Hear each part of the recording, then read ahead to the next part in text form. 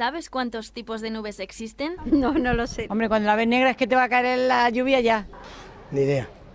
Pues todas las que quieras. no lo sé.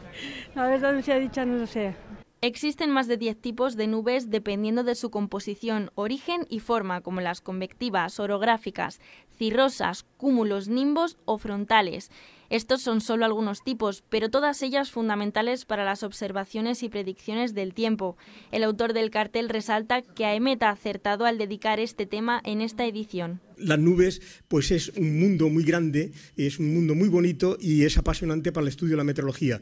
Creo que la Organización Meteorológica Mundial en este día, en, este día meteorológico del año 2017, pues acierta perfectamente al, dedicar eh, pues, eh, el tema fundamental a este tan importante de la, de la meteorología. Y este es el cartel que este año lucirá el Día Meteorológico Mundial celebrado el día 23 de marzo un día en el que se realizarán actos conmemorativos como una exposición fotográfica o la conferencia Retazos de la Historia, Hidrología y Climatología de Toledo, entre otros.